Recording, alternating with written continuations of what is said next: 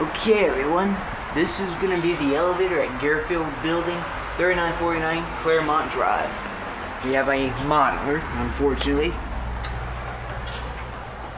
But it's an interesting one. It's kind of ThyssenKrupp.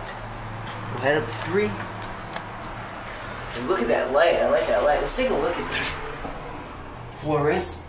Let's look at the numbers. So three's locked, two.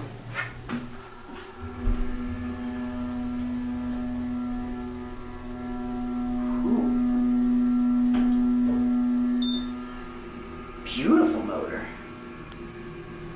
This modeler has not turned out to be so bad. I Kind of see it level. Here we are too. Lots of rust in the door. Probably very old elevator. 1950s looking. Hard to know what this was originally. Probably something like Otis.